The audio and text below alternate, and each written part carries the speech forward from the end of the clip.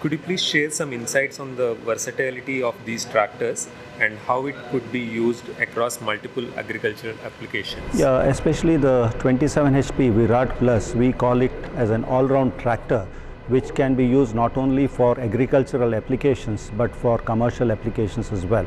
So I believe this is the first tractor available in the country which is an all-rounder.